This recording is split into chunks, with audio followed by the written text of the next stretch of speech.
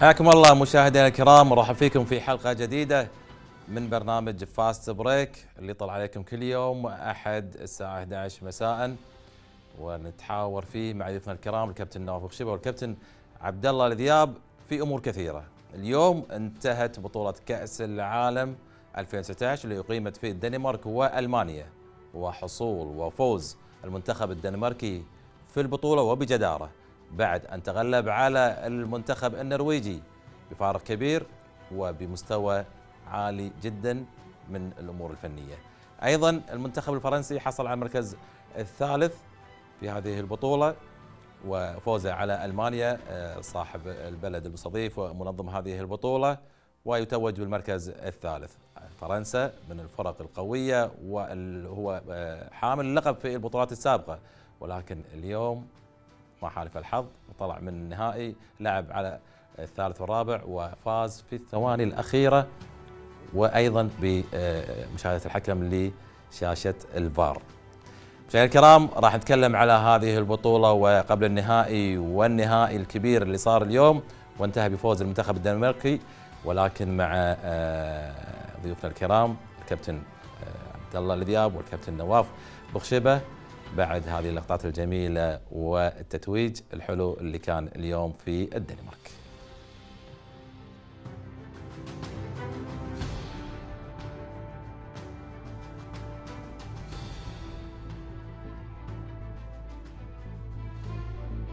في إطار منافسات الأسبوع الحادي عشر من دور الدمج لكرة اليد التقى في افتتاح الجولة كل من خيطان والفحاحيل في لقاء لتحسين المراكز عندما تغلب خيطان على أبناء الفحاحيل بنتيجة 26 هدفا مقابل 24 وفي اللقاء الثاني فقد تقابل فريقي الشباب والساحل حيث فاز أبناء الأحمدي على أبناء بحليفة ب 32 هدفا مقابل 25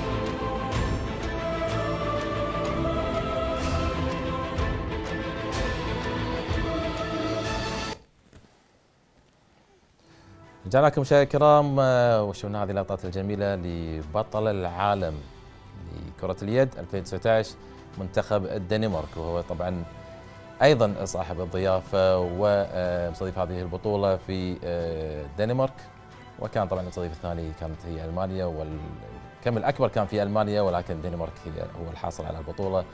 و الدنمارك ما خسر ولا مباراة في هذه البطولة. من بداية الأدوار التمهيدية وأيضا في أدوار كأس العالم ال 12 فريق وقبل النهائي ووصل النهائي بكل جدارة ويحقق كأس العالم 2019 الحديث عن هذه البطولة وعن البطل الدنمارك مع ضيوفنا الكرام الكابتن عبد الله ضياب رحب فيك في فاصل بريك. أه مسيك مسي عليك أخوي سالم مسي على الساده المشاهدين مسي على أبو فهد استمتعنا في كأس عالم جميل ونتمنى نتوفق أنا واخوي أبو فهد في تحليل المباريات الممتعة اللي شاهدناها اليوم. إن شاء الله باذن الله. وطبعا أيضا نمسي على فهد كابتن ناظر خشبه حياك الله معنا. الله يحييك كابتن سالم. مسي عليك ومسي على كابتن عبد الله. ومسي على المشاهدين الكرام. وشاهدنا اليوم ما في شك إنها مباراة جميلة ولو إنها دائما هذا طابع النهائيات. ولكن البطوله مجملا كانت من أفضل البطولات حقيقة منذ سنوات طويلة.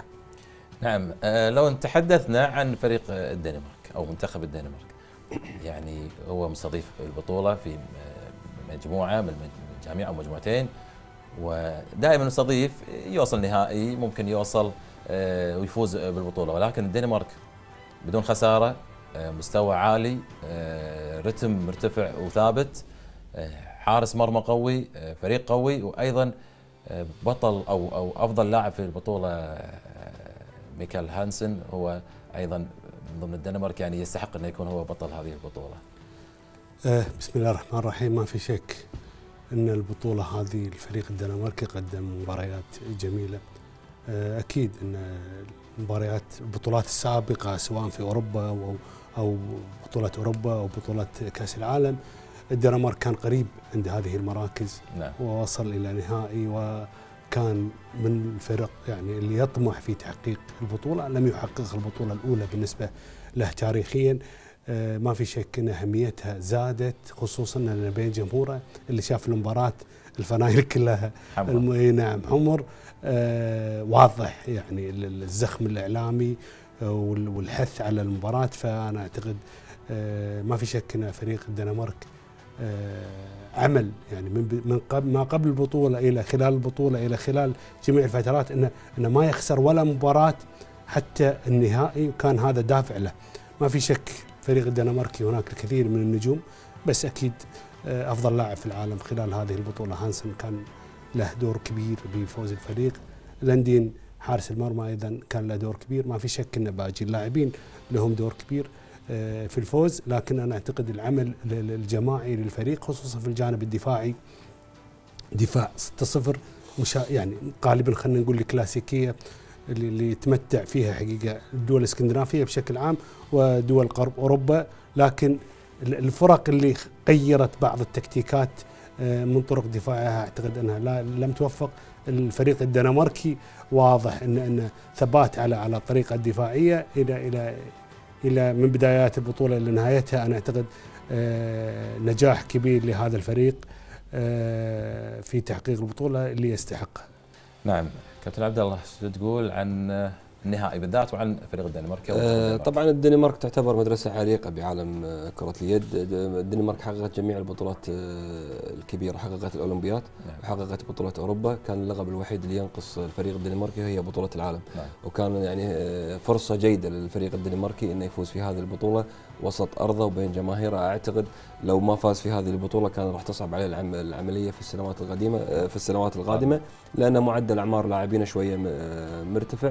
يمكن حتى إحنا لو نلاحظ الفريق الفرنسي يعني عمل عمل تكتيك معين ولكن ما نجح فيه، الفريق الفرنسي حب إنه يقابل الفريق الدنماركي في مباراة قبل النهائي عشان ما يقابل الفريق الدنماركي أمام جمهوره، حب يقابله في ألمانيا لأن دور ال semi-final كان في ألمانيا، فخسر من كرواتيا عشان يطلع ثاني المجموعة ويقابل الفريق الدنماركي في في الدور قبل النهائي عشان إذا راح النهائي يلعب بالدنمارك مع أي فريق من الناحية الثانية سواء النرويج أو ألمانيا راح يكون خارج أرضه راح يكون الفريقين خارج أرضهم. ولكن الفريق الدنماركي تغلب على نفسه. عشان ما نبخس دور الحارس آه، يعني لاندين هو اليوم يعني لعب مباراة كبيرة مو بس اليوم بالبطولة بشكل عام لكن في الدور آه، قبل النهائي في ال semi-final الحارس الاحتياطي جرين اعتقد في الشوط الثاني آه، اعتقد حلف إنه قال اليوم حق فرنسا ما راح ما راح تقولون لأنه لعب مباراة كبيرة. نفس ما قال أبو فهد مايكل هانسن أفضل لاعب في هذه البطولة. فوق إنه أفضل لاعب في هذه البطولة هو هداف البطولة في 72 نعم. هدف أيضا. أعتقد الفريق الدنماركي يعني فريق شامل بعد التعاقد مع المدرب يوكوبسن أعتقد ظهرت ملامح الفريق الدنماركي. يمكن نلاحظ الفريق الدنماركي يلعب أيضا من غير back right اللي هو back يمين لكن ما أثر عليه بشكل كبير.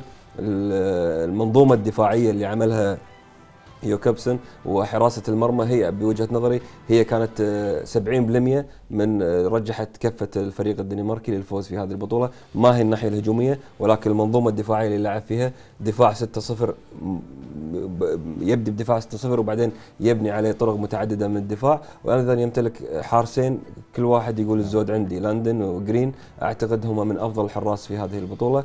آه، الفريق الدنماركي أعتقد يستحق.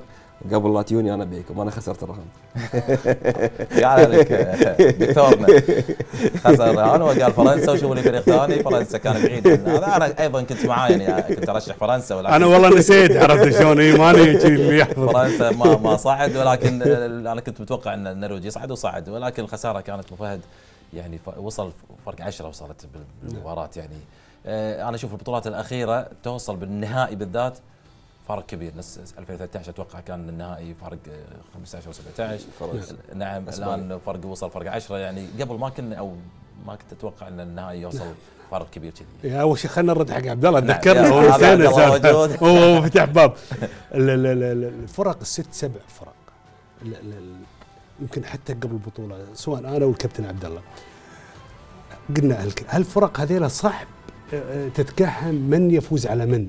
يعني يعني أنت يعطيك انطباع مثلا الصورة كلها تقريبا معطينا انطباع مشكلة ان أشجع منتخب فرنسا نعم. يعطيك انطباع إن الفرنسي فريق يعني قوي يعني خلي الدنماركيين على صوبة لكن لكن المباريات هذه السبع فرق ست فرق صعب انت تتوقع من يفوز على من نعم. يعني شوف البطولة السابقة فرنسا بطل أسبانيا بطل أوروبا قبل سنة يعني أقل من سنة عرفت شلون؟ تحولت إسبانيا. وين مركزها؟ فرنسا حقق الثالث. فرنسا حقق الثالث اليوم. اللاعبين مستانسين كانوا ماخذين البطولة؟ لأن عارفين المستويات اللي بالبطوله فرق متقاربة جدا. متقاربة جدا. ف النهائيات يعني أنا أتابع يعني من من صار يعني يعني من التسعينات وأنا. النهائيات دائما أنا أعتقد في العشر دقائق الربع ساعة بدون مبالغة توضح صورة النهائي من سيكون في البطولة. مشاهداتي لهذه النهائيات. تتضح الصورة ان إن في النهائي لأنها سيكولوجية مختلفة حالة نفسية مختلفة كيفية تعد كيف هذه عملية صعبة في اللاعبين بعض اللاعبين يقول كان وصلت النهائي في حد ذاته إنجاز بالنسبة لي.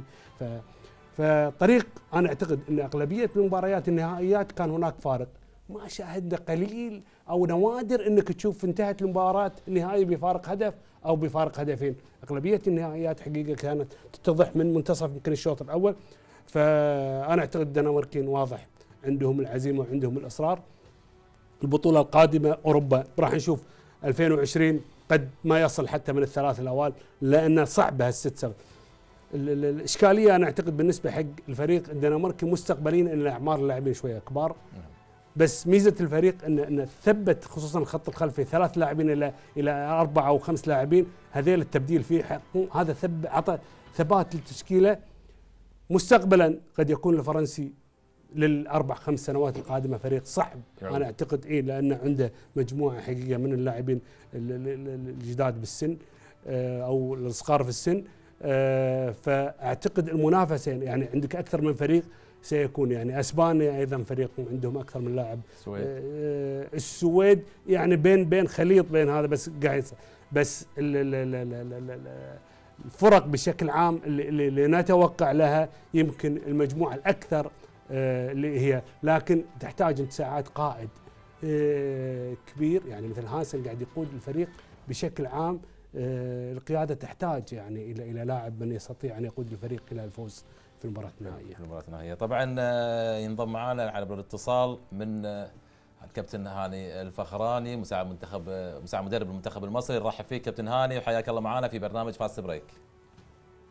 آه أهلا وسهلا أهلا وسهلا بيك أهلا فيك كابتن هاني. ودنا تكلمنا انطباعك عن نقول ال final four وعن النهائي والمنتخب الدنماركي الحاصل على هذه البطولة. شلون شفتها؟ بسم الله الرحمن الرحيم. طبعا آه، زي ما شفنا النهارده إحنا لسه مخلصين المباراه من آه، قريب يعني. طبعا المنتخب الدنماركي فريق كبير ومن بداية البطولة كان واضح إن هو من ابرز مرشحين البطوله خصوصا إن بيلعب على ارضه وسط جمهوره. وكان دايما كل مباراة بي- بيثبت إن هو الأقدر بالبطولة من البداية. ويمكن بان قوي في ال- في ال semi-final قدام فرنسا طبعا فرنسا بطلة عالم ويمكن من اكبر من أكبر الفرق اللي كانت مرشحة للبطولة نعم. آه، لعب مباراة كبيرة من البداية قدامنا وهو يعني من وجهة نظري وإن هو من افضل هو أفضل فريق وفعلا هو أفضل فريق هو والنرويج اللي كانوا مقدمين أفضل مستويات في البطولة والنهاردة كان متوقع إن هو يكون هو صاحب اللقب يعني.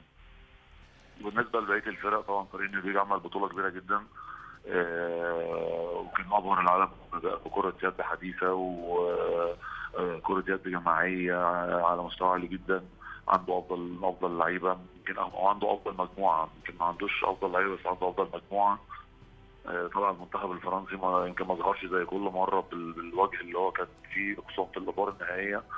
آه، لكن برضه هو طبعا منتخب كبير وكان له فرص كبيره وطبعا المنتخب الألماني طبعا هو يمكن كان صاب خيبة أمل كبيرة طبعا في ال semi-final آه، كان عندهم أمال كبيرة إن هم يوصلوا للنهائي ويعملوا كانت تبقى مباراة كبيرة بينهم وبين الدنمارك بس طبعا المنتخب النرويجي قدر إن هو يفوز عليهم يعني. نعم الكابتن نواف بخشبة معاك كابتن هاني كابتن هاني أول شيء نبارك لكم حصولكم على مركز متقدم حقيقة في بطولة مثل هذه البطولات وحصولكم على المركز الثامن اعتقد أعتقد أنا انجاز يعتبر الإنجاز الثاني لمنتخب مصر بعد ما حصل سابقا على المركز الرابع. آه، طموح المنتخب المصري خصوصا في البطولة القادمة آه، الآن أنتم الثامن مطلوب منكم أكثر خصوصا أنكم عندكم أكثر من لاعب يعني يعتبر في العمر نوعا ما آه، كبير مثل الكابتن الأحمر والكابتن علي زين آه، فما أدري آه، شنو الطموح وشنو الأشياء اللي أو اللاعبين اللي أنتم عادينهم لهذه البطولة. هو في البداية طبعا أحب أوضح لك إن إحنا يعني يمكن عندنا الاتحاد الجديد طبعا برئاسه الباشمهندس هشام ناصر والاعضاء الاداره كلهم آه، في بداية من الولاية الجديدة ليهم بعد بطولة آه، بطولة العالم اللي فاتت آه، حطوا خطة حتى خطة طويله المدى لحد بطولة العالم 2021 ودي بدايتها كانت بتولي جهاز جديد مدرسة إسبانية جديدة وحطوا معاهم أنا وحسين زكي المساعدين للمدرب الإسباني بحيث برضه في نفس الوقت يكون آه، بيجهزوا كوادر جديدة مدربين جداد بالمنتخبات الفنية المنتخبات القومية بعد كده. فدي كانت بداية أول خطوة ليا كانت بطولة العالم ديت وكان الطموح كان فعلا إن إحنا نبقى من المركز الثامن للمركز ال 12 آه، ودي تبقى خطوه كبيرة نقدر نبني عليها ال- ال- السنتين اللي جايين لغاية ما نوصل لبطوله العالم بإذن الله. فالحمد لله أظن إن إحنا قدرنا نتوفق جدا في البطولة ديت وقدمنا مستويات كبيرة وخصوصا إن إحنا بقى لنا فترة كبيرة من 2001 ما وصلناش للمستوى دوت ما دخلناش في الثمانيه الكبار من 2001 وجاي خاصته مهمة جدا إنه خبرات للعيبة ديت اللي هي عمرها ما وصلت لل- للليفل دوت والحمد لله إن إحنا قدرنا نخش فيها. بالنسبة للأعمار هو إحنا عندنا الحمد لله يعني معدل الأعمار مش كبير. هو يمكن اكبر لعيبه عندنا أحمد الأحمر عنده آه، 35 سنة. آه، علي زين لا علي زين لسه صغير علي زين مواليد 90 علي زين عنده 29 سنة.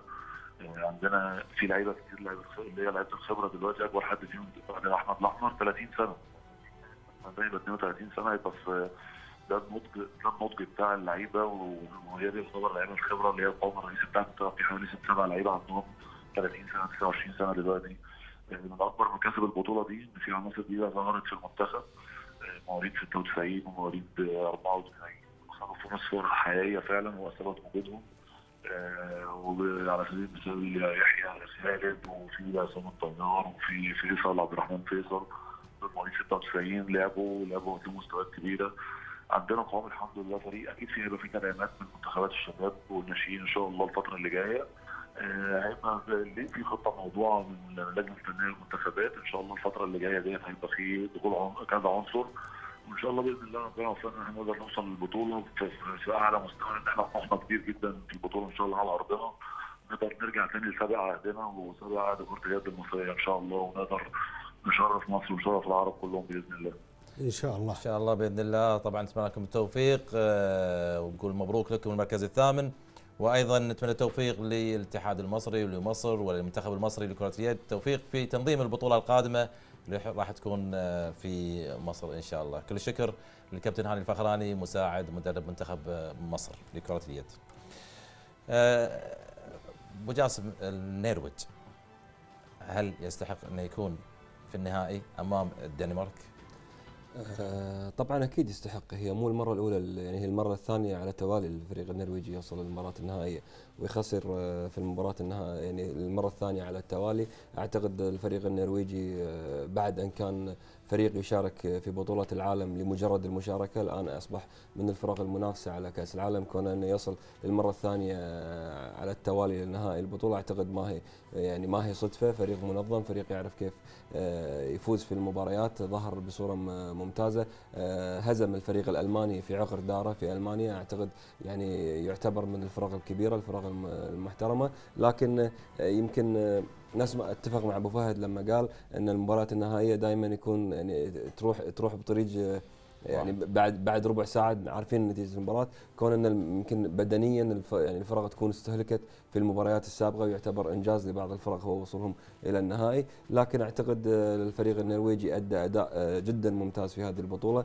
ظهر بشكل آه، جدا ممتاز والدليل على هذا يمكن اختيار ثلاث لاعبين من منتخب النرويج في. في أفضل آه، في- في الأول ستار يسمونهم في الاتحاد الدولي هذا يعتبر إنجاز أيضا إنجاز ثاني للمنتخب النرويجي بعد حصوله على أيضا الميدالية الفضية يمكن نفس ما قال أبو فهد آه، الميدالية الفضية ما تعتبر يعني ما تعتبر خسارة اليوم الفريق الفرنسي وهو بطل العالم وبطل أوروبا يعني والكل كان مرشح اليوم. شفنا احتفاله بالميدالية البرونزية. أعتقد الميدالية الفضية ما هي ما هي شيء سهل. كونك تكون ثاني أفضل فريق بالعالم أعتقد هذا يعتبر إنجاز للفريق النرويجي بحكم الإمكانيات بحكم الفرق اللي موجودة آه، اللاعبين اللي موجودين في آه، بطولة آه، كأس العالم. أبو جاسم المعلومة تقول إن النرويج هو أفضل فريق يطبق الكرة السريعة. اليوم هل هذا صحيح؟ لا اليوم كرة اليد أصبحت سريعة اليوم. إحنا اليوم لو نشوف المباراة النهائية بعد تسجيل هدف بعد تسجيل أي هدف نشوف خلال ثلاث ثواني الكرة قاعدة تسنتر والفريق الثاني نلاقيه في ملعب فريق الخصم. كرة اليد أصبحت سريعة. كرة اليد ما أصبحت اللي الفرق تدافع 6-0 والحارس طلع الكرة من الجول وواحد يتحلطم مع الثاني وأنت ليش سويت؟ لا اليوم لما شفنا اليوم النهائي وشفنا دور قبل النهائي وشفنا اليوم مباراة الثالث والرابع اللي ما شاهد مباراة الثالث والرابع أعتقد ما شاهد كرة يد. اليوم شاهدنا كرة يد حقيقية في مباراة الثالث والرابع بين ألمانيا وفرنسا. أعتقد يعني كان بوجهة نظري الشخصية فنيا كانت أفضل من المباراة النهائية. آه، يمكن حسمت في آخر ثانيتين للمنتخب آه، الفرنسي. آه، كراباتيتش يعني ظهر في في آخر يوم في البطولة. أعتقد رجح كفة الفريق الفرنسي حصوله على الميدالية البرونزية. نعم. أبو فهد ال- ال- ال- فرنسا وألمانيا. يعني كانت مباراة قوية حسب اللي ما سمعت أنا كانت آه، مباراة جبارة يعني بالمستوى الفني دفاع هجوم حراس. أيضا والدليل على هذا أن الفوز كان حق المنتخب الفرنسي في الثانية أو الثانيتين نعم. الأخيرتين بهدف واتجهوا للفار. ويعني كانت نعم، في قصة. لا لا شوف ال- أنا بس بدي أضيف على كلام عبد الله على قضية السرعة. نعم. آه، ما في شك إن كرة اليد من أول سريع بس أكيد زادت بال يعني التعديلات القانونية من 2000 تقريبا وواحد وأنت صاعد. آه، السرعة الآن في كرة اليد ما تعطي فرصة للتبديل. الآن ما تشاهد إلا لاعب واحد.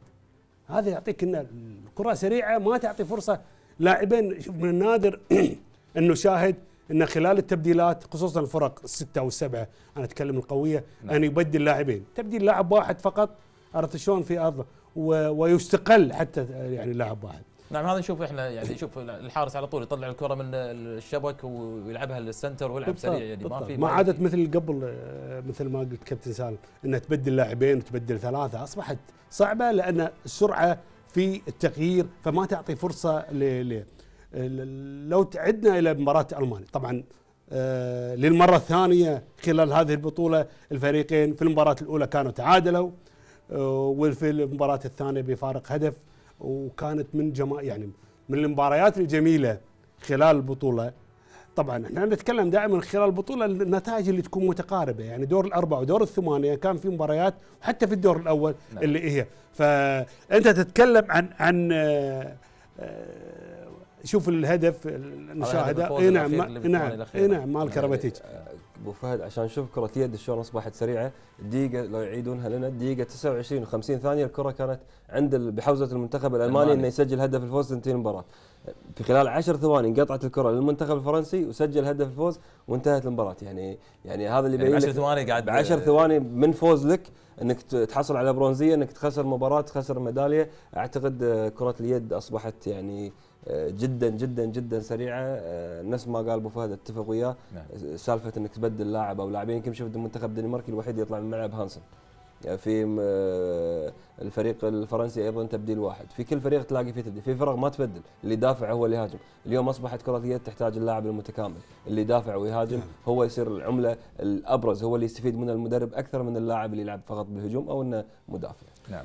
يعني أنا بس أيضا من الأشياء اللي اللي شاهدناها حقيقة في في في كأس العالم انه آه، مثل ما قلت تبديل واحد إنك أنت إذا ناقص الفريق لاعب دائما لاعب واحد يلعب بالفريق بدون حراسة مرمى. وطبعا هذه فيها ريسك في في قاعد يصير فيها مجازفة بس مجملا نشاهد أغلبية الفرق تلعب آه، بهذه الطريقة لأنها تكون ملزمة وتكون حذرة وساعات كثير تسجل هدف ولكن يسجل عليك في نفس اللحظة هدف آخر وصارت في كثير من المباريات الحساسة.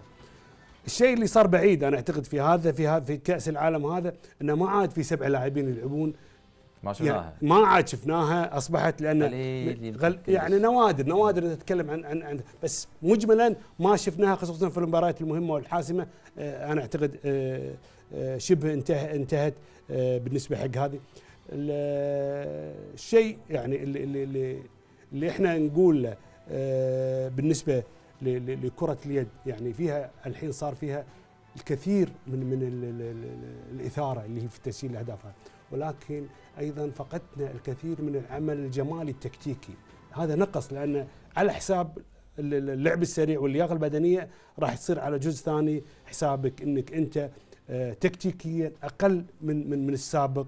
والسبب هذه السرعة فكل شيء له إيجابياته له سلبياته أنا أعتقد كنا نشاهد يعني يمكن الحين لما نشوف كرة واحدة فيها عملية جمالية تكتيكية فيها زيادة ولا فيها عمل تكتيكي معين نقول ما شاء الله نعم. نستانس عليها نعم. أو فيها عملية كرة بالهواء وصعبة فنشاهد الأشياء التكتيكية أصبحت من النوادر أن نشاهدها مع أنها هذه هي اللي تفرق آه، في مباريات خصوصا المباريات الحاسمة. نعم طبعا آه، راح نشاهد الآن آه، أفضل سبع لاعبين وأفضل لاعب في العالم لكأس العالم 2019 أفضل سبع لاعبين في البطولة أو أفضل لاعب في العالم اللي هو طبعا هانسن ميكال هانسن اللاعب الدنماركي ال- اللي شال فريقه وشال منتخبه شاهده الآن على الشاشة. اللي في النص مثل ما تشاهدون ميكال هانسن هو أفضل لاعب في العالم والثلاث لاعبين اللي على يمين الشاشة وثلاث لاعبين أو أربع لاعبين على يسار الشاشة هم أفضل لاعبين حسب المراكز. آه، من ألمانيا نشوف إحنا اللاعب الجناح. ألمانيا فابيان فيدا. فيدا. إي نعم. والجناح الأيسر ماغنوس يوندال. نعم. آه، الظهير الأيسر ساندرو آه، ساجس- ساجسين هذا فنلندا؟ النرويج النرويج صانع الألعاب راسموس الظهير الأيمن آه، اللي هو ال back اليمين آه، الأشول آه، آه، فيدا. الجناح الأيمن آه، فيران سولي لاعب المنتخب الأسباني. اسباني نعم. لاعب الدائره مير ميرهول. والحارس طبعا بلا شك هو لاندين حارس آه، المنتخب الدنماركي. يعني إحنا قاعد نشوف يعني اللاعبين الدنمارك النرويج واحد من أسبانيا. طبعا واحد من إسبانيا وواحد من ألمانيا. ومن ألمانيا. اي ال- ال- ال- أنت لما تتكلم طبعا لما نشيل هانسن خارج الحسبة راح يصير عندك ثلاثة من الن- النرويج واثنين من آه، من الدنمارك. آه، صار عندك خمسة لاعبين واثنين اللي هو واحد إسباني واحد ألماني سبعة لاعبين. هذا يعطيك شنو أهمية المباراة النهائية؟ يعني كلهم من. ال final four ما في إيه، أحد من برا. طبعا يعني طبعا كله- اسباني اسباني آه، آه، اسباني واحد لا. بس إن إحنا نتكلم عن عن ال final نفسه في آه، خمسة لاعبين غير آه، أفضل لاعب أفضل لاعب في العالم اللي هو اللاعب رقم ستة بالنسبة حقهم. فأصبح ثلاث لاعبين دنماركيين وثلاث لاعبين نرويجيين. لأن هذا يعطيك المباراة النهائية طريق خصوصا بهذا التنظيم بهذه الطريقة. أنا أعتبرها طريقة حقيقة عبقرية. نشاهد من أول بطوله من أول مباراة في, في, الدور الأول أهمية هذه المباريات تصاعديتها وإن ما في مجال للتفريط في أي مباراة لأن تفريطك في مباراة واحدة أو اللعب بطريقة سهلة قد يضيع عليك آه، بطولة آه، معينة. قد يكون مثلا الفرنسيين خططوا بطريقة معينة آه، لم يوفقوا فيها. فهني يعطيك إن المباريات النهائية دائما هي المباراة الناس كلها عينها عليها. وكلها تعطي الأهمية للاعبين مع أن غالبيه مباريات كأس العالم النهائيات أنا قاعد أشوفها قلت لك أنا يمكن من فترة طويلة آه، من النادر أن نشاهد آه، انتهاء في بارق هدف أو بفارق هدف نعم آه، الآن آه، الدنمارك حصل على البطولات نفس ما تفضلت أبو جاسم قبل قليل قلت هو حاصل على أوروبا وحاصل على آه، أولمبياد. أولمبياد الآن كان يفقد هو كأس العالم وحصل على كأس العالم شو اللي ينقص المنتخب الدنماركي الآن؟ يعني فرنسا بالسابق كان هو حصل على الأولمبياد أعتقد الآن. المنتخب الدنماركي يعني حصل على جميع البطولات خلينا نقول الكبيرة. يعني حصل على بطولة أوروبا كونها أفضل بطولة على المستوى ال- القاري وحصل على على المستوى العالمي. بطولة الأولمبياد حصل على الميدالية الذهبية وأيضا اليوم حقق ال- الإنجاز تاريخي يعتبر بالنسبة له حصوله على آه، بطولة العالم. أعتقد هو إنجاز يعتبر للمنتخب الدنماركي كونه أول مرة يحصل على هذه البطولة. والشيء المميز إنه حصل على هذه البطولة وهو منظم ويعني البطولة كانت خاصة النهائي كان على ارضه أعتقد استفاد من آه، هذه هذه الميزة. آه، يمكن اليوم في مباراة الثالث والرابع لو في لقطة يمكن شاهدتوها لو ما شاهدتوها مدرب المنتخب آه، الفرنسي ديدينير عقب فوز عقب جول كراباتيتش اتجه direct لطاولة التحكيم وقام يأشر عليهم. يعني كنا كان في شيء كان وده يقوله في الم... على المباراه السابقة اللي هي مع الدنمارك. لكن أعتقد المنتخب الدنماركي في مباراة قبل النهائي ما أعطى فرصة تماما للمنتخب الفرنسي يعني وصلت النتيجة إلى فارق 10 أهداف. آه، المنتخب الدنماركي يمكن في جميع المباريات في أغلب المباريات اللي لعبها فاز بأريحية فاز آه، يعني بأقل مجهود يمكن حتى اليوم المباراة النهائية فاز بأقل مجهود. دائما يظهر لنا نجم في هذا في في في الفريق الدنماركي يمكن في مباراة د- هانسن يكون هداف. اليوم هانسن ما سجل اليوم هان- هانسن أخذ دور صانع الألعاب في مباراة قبل النهائي آه، جرين حارس المرمى هو كان أفضل لاعب في المباراة. اليوم آه، لندن هو أفضل لاعب في المباراة. فأعتقد المنتخب الدنماركي هو من يستحق هذه البطولة. كون الفريق الوحيد اللي ما خسر في هذه البطولة يمكن عندي معلومة آه، ريتشاردسون لاعب المنتخب الفرنسي رقم تسعة الأشول. هو ابن اللاعب الشهير جاكسون. جاكسون اي فهذه يعني يعني أمس أنا عرفت المعلومة هذه. نعم. و يعني لما نشوف جاكسون اليوم نتذكر يعني ولاعب مميز خاصة إنه لاعب اشول المد- المدرب يست يعني يستعين فيه إنه يلعب playmaker أعتقد آه، لا هو لاعب متكامل. هو لاعب من بلية الفرنسي لاعب مميز لاعب صغير بالعمر. أعتقد يعني المستقبل قدامه هو وديك ميم. هذه هذه هذه هذه الميزة قاعد نشوفها أيضا في السابق آه، شفنا آه، آه، تالنت دوتشبايف أيضا ولد والحين الثاني في في اثنين سيسيليا السلوفيني.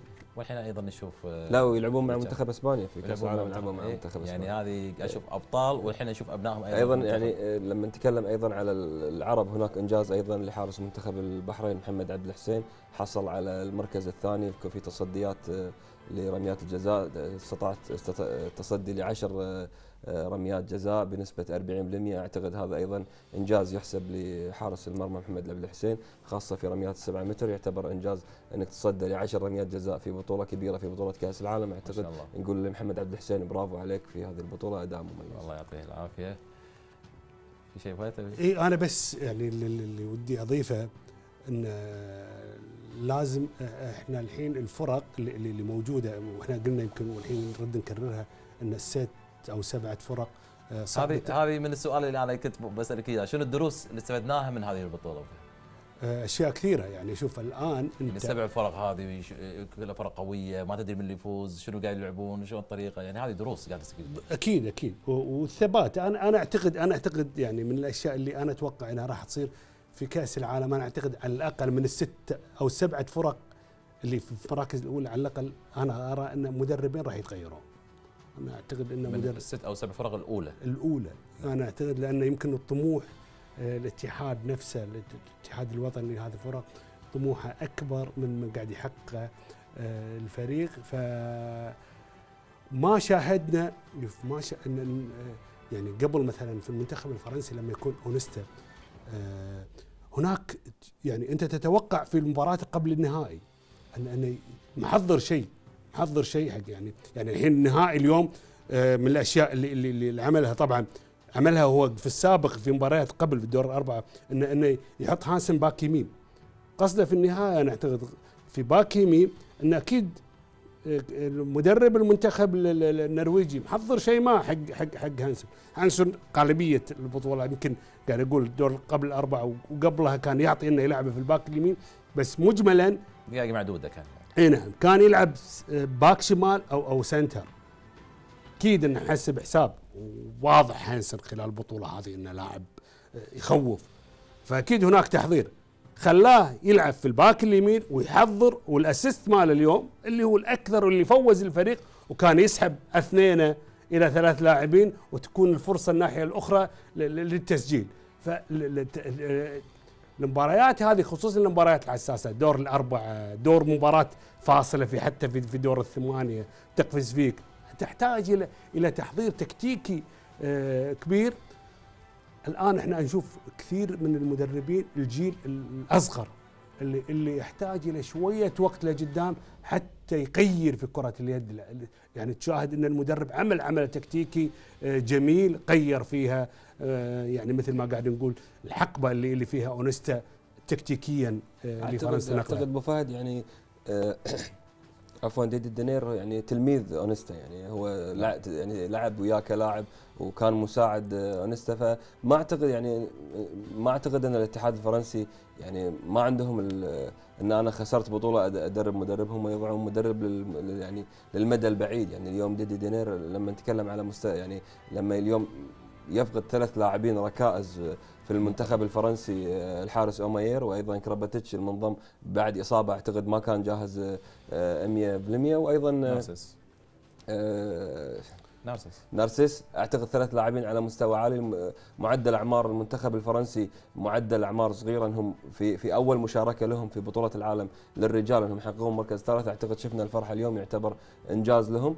أعتقد في بطولة العالم 2021 هذا الفريق الفرنسي هو من حقق بطولة آه، العالم للشباب التي اقيمت في الجزائر آه، 2017 آه، فأعتقد هم الهدف مالهم 2021 لأن هم آه، يعني راح يكون أعمار اللاعبين اللي كانوا في 2017 راح يكون آه، 24 سنة. أعتقد في أوجه عطائهم أعتقد الفريق الفرنسي يعني كمنظومة كفريق مع مدرب قاعد يكتسب الخبرة في السنوات هذه أعتقد هو اللي قادم إحنا قاعد نتكلم إحنا ثلاثة نشجع فرنسا. لا لا شوف. إيه، إيه، فرنسا. لا لا شوف أنا بقول لك شغلة. أنا بقول لك شغلة. شوف آه، ما تقدر تقارن أكيد انه تلميذة وأكيد بس ما تقدر تقارن اونستا آه، الفريق لما استلمه من كأس العالم الأخيرة ما كان مقنع الفرنسيين حتى في تحقيقهم البطولة اللي كانت في فرنسا. بعدين جاء في أوروبا وخرج من البطولة مبكرا. كان اونستا يعني مع إنه كان مدير فني كانت أكثر يعني يعني من ما بعيد كان يعني إحنا نعم. نتكلم ال- ال- آه، طبعا هم الفرنسيين عموما في جهاز كامل مو أقل من ستة سبعة نعم. يجهزون. بس آه، آه، يعني في خلافات كثيرة على قصة هل يستمر أعتقد أو ما يستمر. بس أنا أقول لك النتائج اللي هو انه حصل كأس العالم في فرنسا. ما كان الفريق مقنع. بعدين التغييرات اللي صارت إنه راحوا كثير من اللاعبين جزء هذا منها وبعدين في في في كأس أوروبا اللي هي قبل سنة ما كان الفريق مميز. الآن الفريق خرج أوكي حقق الثالث خرج. عنده مجموعة آه، من اللاعبين الصغار يعني المستقبل أنا أرى أنا مثلا في فرنسا. بس أنا أتوقع أن دي- دينار ما يكمل ويا الفريق توقعي. وهو ويا كريستيان ألمانيا. بعدين إحنا نشوف. وبعدين يمكن تفوز علي ها فيها مثل ما فزت عليك. طبعا آه، تكلمنا بالكثير عن بطولة كأس العالم آه، ألمانيا والدنمارك وحقق المنتخب الألماني الفوز وبجدارة على المنتخب النرويجي في المباراة النهائية ويتوج بطلا لكأس العالم. والآن من كأس العالم إلى القارة الصفراء آسيا. بس بناخذ time out نرجع لكم.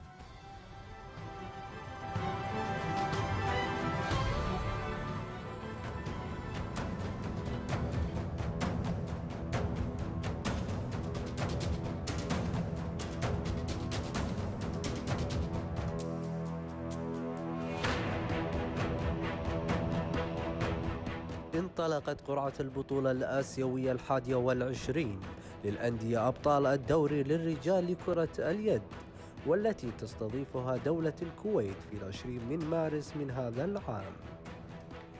ينظم بطولة الأندية الآسيوية نادي الكويت الرياضي وتعتبر هذه البطولة للأندية الآسيوية المؤهلة لبطولة كأس العالم للأندية لكرة اليد. مشاركة 14 نادي منها الخليجي والعربي والآسيوي بمعدل أربع مجموعات تتنافس على تحقيق لقب البطولة وسط أجواء تنافسية لتمكين نجاح البطولة. بسم الله الرحمن الرحيم. ال- اليوم يعني آه، جرينا قرعة البطولة الحادية والعشرين للأندية الأبطال آه، الآسيوية لكرة اليد. والحمد لله يعني أجريت بجو من يعني المحبة والأخوة بين جميع الفرق المشاركة. وأحب أهني نفسي وأحب أحب أهني كل الأسرة الرياضية الكويتية بعودة النشاط مرة أخرى لكرة اليد الكويتية من حيث التنظيم والمشاركة. وهذا خبر يعني كلنا كأسرة رياضية نسعد فيه ونتمنى إن شاء الله إنه تكون بطولة قوية وبطولة آه، يفخر فيها الجميع خاصة الشباب الكويتي. وأنا متأكد إنه نادي الكويت وكل الشباب الكويتي قادرين على أن ينجحوا في تنظيم هذه البطولة وأتمنى إن شاء الله نشوف مستويات آه، راقيه آه، تعكس مدى ما وصلت إليه كرة اليد الآسيوية. في البداية أنا حاب أشكر آه، الاتحاد الآسيوي اللي أعطانا الفرصة أن ننظم هالبطولة. مثل ما أنتم عارفين يعني هذه أول بطولة وبطوله كبيرة الصراحه يعني البطولة الآسيوية بهالعدد هذا من ال- الأندية استضافة كبيرة خصوصا بعد انقطاع لمدة سنوات طويلة للاستضافات. بالنسبة لاستعداداتنا تقدر تقول 90% من ال- المنشأة تغيرت بنادي الكويت. والشكر موصول آه، للهيئة العامة للشباب الرياضه آه، الدكتور حمود ثلاثة حضاري آه، شكر خاص أيضا آه، للشيخ حمود صباح أبو سالم. آه، طبعا كل متطلبات البطولة من الاتحاد الآسيوي تقدر تقول 90% منها جاهز.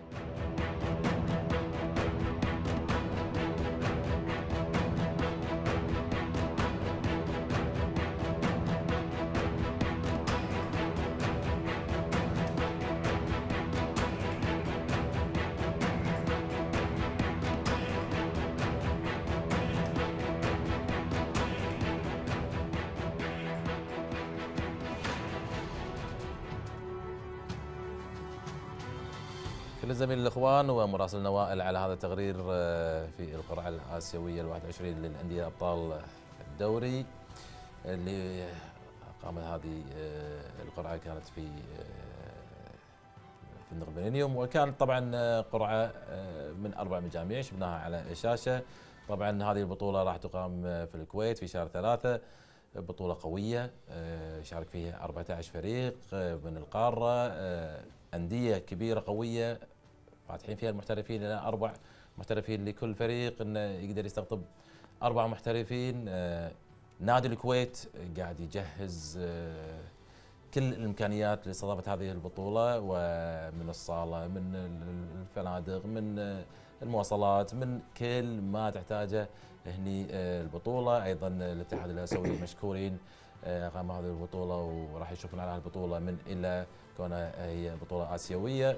الاتحاد الكويتي راح يكون جاهز على اتم الاستعداد لهذه البطولة، الكل جاهز والكل ينتظر هذه البطولة اللي راح تقام في الكويت خلال مارس المقبل. راح نتكلم مع ضيوفنا عن الم- الم- المج- المجاميع، يعني أربع مجموعات آه، مجموعتين ثلاث فرق ومجموعتين أربع فرق. لو نتكلم عن الأصعب يعني أبو جاسم أنت كنت حاضر وكنت أنت سحبت الفرق آه، في هذه القرعة ودنا تقول لنا ال- ال- القرعة الأقوى حسب اللي شفناه آه، على الشاشة. آه، طبعا لما نتكلم عن البطولة الآسيوية البطولة نظام البطولة راح يكون هناك أربع مجموعات. آه، تقسمت طبعا الفرق على أربع مجموعات. المجموعة A والمجموعة B كان فيها ثلاث فرق المجموعة C والمجموعة D أربع فرق. بعد الدور الأول راح يتأهل الفريقين الأول والثاني إلى الدور الثاني. راح يتقسمون الفرق إلى مجموعتين مجموعة A ومجموعة B. ومن ثم الأول والثاني راح يلعبون الدور آه، قبل النهائي هو الدور semi final ومن ثم الدور آه، النهائي آه، والفائز في هذه البطولة سوف يتأهل إلى بطولة ال Super Globe اللي راح تقام آه، السنة لأول مرة. في المملكة العربية السعودية بعد آه، ما أقيمت في دولة قطر آه، الشقيقة السنوات الماضية. لأول مرة سوف تقام خارج دولة قطر. ستقام هذه المرة في الم- المملكة العربية السعودية بعد ما أسندها الاتحاد الدولي للاتحاد السعودي لمدة آه، أربع سنوات. نتمنى البطولة بعد تنظيمها في الكويت شخصيا أتمنى البطولة ما تخرج من الكويت نعم. سواء للكويت أو كاظمة. نعم. أعتقد آه، البطوله الفرق في هذه يعني مجموعات متوازنة. المجموعة آه، A كان فيها نادي دراجون الصيني ونادي مضر آه، السعودي ونادي الصداقه اللبناني. أعتقد مجموعة متوازنة. المجموعة B نادي الجيش السوري ونادي مسقط العماني ونادي الوكرة. أيضا مجموعة نوعا ما متوازنة. نادي الكويت آه، الكويتي في المجموعة C ونادي الكرخ العراقي ونادي هند الهندي. ونادي بربار البحريني أيضا تعتبر مجموعة مناسبة. آه، مجموعة الموت المجموعة دي اللي هي فيها نادي دحيل القطري والنادي الأهلي الأردني ونادي الشارقه الإماراتي ونادي كاظمه الكويتي أعتقد يعني مجموعة نارية مجموعة جميع الفرق اللي فيها فرق منافسة. آه، دحيل القطري هو يعتبر حامل اللقب بعد انسحاب نادي النجمة. آه، أعتقد هي المجموعة الأصعب والمجموعة الأشرس. وقع فيها نادي كاظمة. يعني نتمنى لهم التوفيق و نتمنى أن يعني يكون هناك أربع لاعبين محترفين على مستوى عالي للمنافسة والخروج آه، بم- بمقعد من هذه المجموعة. نعم أبو فهد آه، توافق آه، أبو جاسم على أن المجموعة دي هي الأقوى؟ آه حسب الأسماء إيه إيه الموجودة شوف و- أنا أنا أول شيء حقيقة في بادرة جميلة. أنا توني حقيقه ما شاهدت القرعة الان شاهدتها.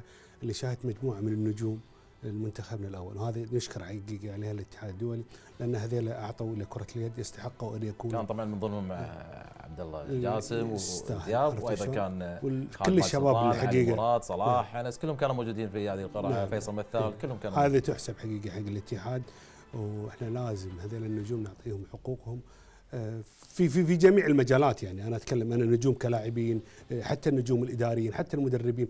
إيه، يعني أنت لازم ترى في فرنسا أنت دائما تشوف السوالف هذه مثلا كبطل يعني في البطولات هذه. لاعبين اي نعم. آه، يعني أنا أشوف أنا ال- ال- ال- ال- أشوف أشوف ان إن مجموعة B آه، عفوا المجموعة C آه، وين اسمه C D آه، لا لا. المجموعة A عفوا. اللي هي ال- ال- الفريق الصيني ومضر و- ونادي الصداقة. أنا ما شفت يعني طبعا ما شفنا لا يعني المعلومات اللي عن مضر فريق جيد وفريق الصداقه فريق جيد مشاركاته السابقة. نعم. والنادي الصيني إلى الآن ما بس يفترض إن بطل الصين أنا أعتقد انه راح يكون. آه، هالثلاث فرق هذيلا أنا أعتقد إنها من المجموعات الصعبة من الأثنين اللي يطلعون. لأن حتى إذا طلعوا اثنين خلينا نقول مضر والصداقه راح يكون ثقلهم على ال- بال- بالشو اسمه أقوى لكن لما تقول مثلا نادي الكويت أنا أعتقد آه، متأهل وهو غالبا 90% مع بربار تقريبا واضحة الأمور أنا أعتقد. ها مجموعة الكويت اللي هي C. اللي هي مجموعة C نعم. ال- ال- ال- ال- الفريق الأردني يعني أقل فريق كاظمه كمستوى إحنا قاعد نشوفه. فأنا أشوف إن ال- ال- ال- الدحيل القطري والشارجة الإماراتي حظوظهم أكبر بهذه المجموعة. هذا رأيي الشخصي. يمكن عبد الله صح يكون يعني, يعني وجهة نظره. لكن اللي اتمناه إحنا البطولة الحين فرصة كبيرة. إن يصحح أخطاء نادي الكويت بما حصل في البطولة العربية الآن يعوضها. ما في آه لابد أن يكون صاحب البطولة صاحب الأرض منتخب الكويت قاعد يمثلنا. آه مهم جدا في في في كل الأشياء هذه. الحين قاعد نقول الفرق هذا المهم في العامل الرئيسي فيها من هم المحترفين اللي مع كل فريق. هذا إحنا عندي دقيقتين. فهذه دقيقتين السؤال اللي راح نسأل فيه وراح نتكلم فيه. آه، هل. الفرق هي اللي راح بأسمائها راح نعرف منو راح يفوز أو منو راح يصعد؟ أم المحترفين راح يغيرون الموازين؟ لا وين هم المحترفين لا، اللي الم- حسب المعلومات الموجوده المحترفين ما راح يغيرون موازين. المحترفين هم أربع لاعبين. اليوم إذا أنت بطولة آسيا إذا تبي تفوز فيها لازم يكون عندك 16 لاعب لأن أنت راح تلعب آه، كل يوم. إذا ما عندك 16 لاعب أنت لو تجيب أربع محترفين ينصابون في منك اثنين إذا راحوا راحوا لاعبين البطولة اللعب 16 لاعب. نعم. أعتقد آه، بوجهة نظري الشخصية ما في فريق ضعيف في هذه البطولة لأن كل المحت... كل الأندية راح يجيبون محترفين. ما نقدر نقيس فريق الكرخ العراقي قوي أو فريق الهند الهندي ضعيف لأنه ممكن يجيب لك أربع لاعبين يصبح فريق قوي. الشارجه الإماراتي. إذا إحنا نشوف الشارجه الإماراتي آه، بمستوى اللاعبين بمستوى الدوري الإماراتي يعتبر فريق ضعيف. لكن المعلومات اللي عندنا إن الفريق آه، الشارجه الإماراتي استعان بأربع أربع لاعبين محترفين. إذا اصبح من الفراغ اللي راح تنافس اليوم الم- المحترفين مع اللاعبين المحليين هم اللي سوف يحددون آه، يعني مستوى الفريق. بوجهة نظري الشخصية عشان أختم كلامي أعتقد أعتقد وإن شاء الله نادي الكويت نجح في تنظيم هذه البطولة قبل لا تبدي لأن اللي قاعد أشوفه وشفته بعيني في اللي قاعد يعملونه الإخوان في نادي الكويت أعتقد يعني نجاح البطولة قبل بدايتها لو أي أحد فيكم.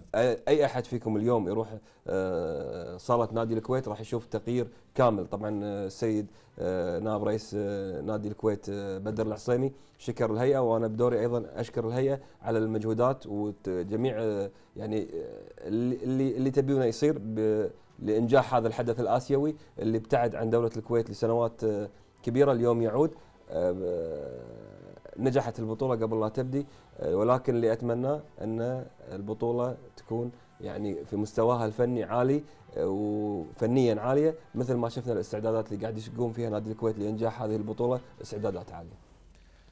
نعم طبعا بدورنا إحنا طبعا نشكر الهيئة العامة لشباب الرياضة أو الهيئة العامة للرياضة اللي قاعد تقوم بدورها لإنجاح هذه البطولة وأيضا آه، الاتحاد الكويتي لكرة اليد والاتحاد الأسيوي لكرة اليد والشكر لنادي الكويت على هذا المجهود اللي قاعد يعملونه بالتغيير الجذري للمنشأة آه، لاستضافة هذه البطولة و آه، من المحترفين ما ندري ولكن الكويت عنده 16 لاعب وقادر إنه يلعب هذه البطولة ويفوز في البطولة وإحنا ناطرين هذا طبعا الفوز أيضا فريق نادي كارما كارما قاعد يستعد يعني استعداد مبكر. حاليا هو في نعم، المعسكر في معسكر نتمنى إنه يجيب أربع محترفين يعني نعم. يكونون يساعدون مستوى الفريق. وقادر إنه يكون آه، من ضمن الفرق المنافسة في هذه البطولة ونشكر كل من يعمل من أجل آه، الكويت وكرة اليد الكويتية وإنجاح هذه البطولة إن شاء الله راح تكون في مارس المقبل. وأنا بدوري أشكر آه، ضيوفي في هذه الحلقة الكابتن عبد الله ذياب جاسم شكرا لك. العفو ونتمنى نكون آه، كنا ضيوف خفاف على المشاهدين واستمتعنا في بطولة آه، كأس العالم. ما تمناها إنها تخلص لكن لكل بداية نهاية. نعم. وشكرا لكم. شكرا لك. وأيضا آه، شكري الخاص للكابتن نواف خشبه لحضورك وتحليلك لبرنامج Fast Break الشكر لك كابتن سالم والشرف لتواجدي معاكم. معاكم مع الكابتن عبد الله. آه الحمد لله آه بطولة كأس العالم حقيقة كانت جميلة وكانت فرصة حق- حقيقة كبيرة أن الجميع يستفيد منها خصوصا الفنيين واللاعبين. آه يعني أتمنى إحنا أعطينا معلومات بإمكانياتنا المحدودة. إن شاء الله أنها فادت آه الإخوان آه في حق كرة اليد. آه هذه القدرات اللي إحنا حاولنا كثر الإمكانيات اللي موجودة عندنا. وإن شاء الله نشاهد بطولة آسيوية على مستوى عالي. أنا أعتقد إن الإخوان في نادي الكويت على يعني قدها إن شاء الله. وإن شاء الله نشاهد بطولة. المهم النجاح التنظيم أنا أعتقد هذا رقم واحد. وتقدير الضيوف وترتيب لهم. وهذه عاده ليست آه، يعني بغريبة على أبناء الكويت. كل شكر لك أبو فهد. وطبعا انتهينا من كأس العالم ونعود مرة ثانية للدوري المحلي أو لكل بطولة لكرة اليد. إحنا راح نكون آه، في تغطيتها وفي الحديث عنها ولكن الدوري المحلي راح يكون فيه 4 2 الآن من الان 4 2 يعني هناك عندنا حلقات. ما راح يوقف Fast Break راح يكون مستمر. وراح تشوفون القادم إن شاء الله في الحلقة القادمة. شيء جديد وكرة يد آه، محلية خليجية عربية دولية والله العالم. نشوفكم إن شاء الله في الأسبوع القادم. يوم الأحد في أمان الله.